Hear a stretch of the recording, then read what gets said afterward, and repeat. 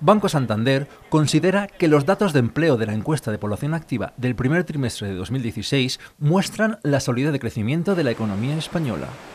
Según el Santander, durante el primer trimestre de cada año hay efectos estacionales negativos que es necesario ajustar para hacer un análisis adecuado. Si tenemos esto en cuenta, la tasa de paro se habría reducido.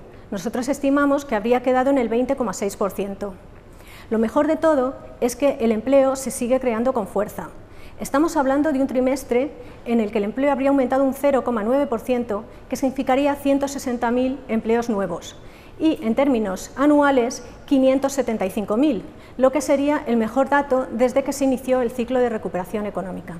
Aún así, para Banco Santander, la tasa de paro en España sigue siendo muy elevada, pero se observa una tendencia descendente que podría caer hasta el 19% a finales de año.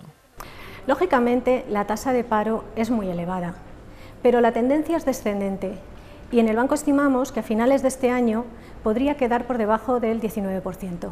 Pese a que algunos datos de actividad, en concreto indicadores de confianza, sugieren que podría estar produciéndose cierta ralentización en el crecimiento de la economía, estos datos de empleo, al menos de momento, contradicen esta tesis.